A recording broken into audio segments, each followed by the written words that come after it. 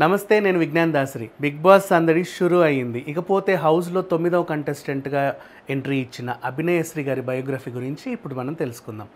అభినయశ్రీ గారు రెండు వేల ఒకటిలో ఇండస్ట్రీలో అడుగుపెట్టారు. సూర్య విజయ్ కలిసి నటించిన ఒక తమిళ సినిమా ఫ్రెండ్స్ అనే ఒక సినిమాలో ఒక చిన్న పాత్ర అంటే నెగిటివ్ రోల్ చేస్తూ అలా పరిచయం అయ్యారు. అప్పుడు తన ప- వయసు ఆల్మోస్ట్ పన్నెండేళ్ళు అనుకుంటాను. ఆ తర్వాత టూ థౌజండ్ ఫోర్లో తెలుగులో ఆర్యాలో ఎంట్రీ ఇచ్చింది ఒక ఐటమ్ సాంగ్ ద్వారా. తన జర్నీ కూడా చాలా సినిమాటిక్ వేలోనే జరిగింది.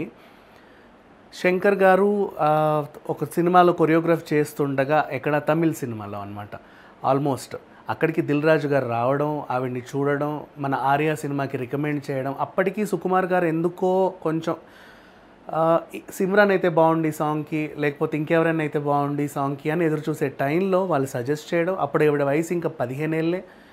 అలా ఇండస్ట్రీకి వచ్చింది.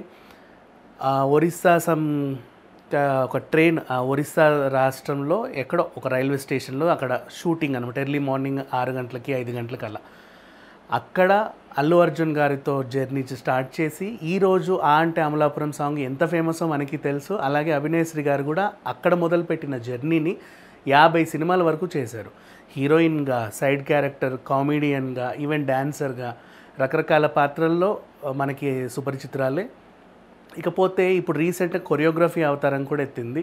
కొన్ని కొన్ని సినిమాలకి అంటే కార్డ్ తీసుకొని కొన్ని కొన్ని కొత్త కొత్త సినిమాలకి కొరియోగ్రఫీగా కొరియోగ్రాఫర్గా కూడా చేస్తున్నాను ఇక తెలుగులో లాస్ట్ మనకంటే పాండవులు అనే ఒక సినిమా చేసింది టూ థౌజండ్ ఫోర్టీన్లో.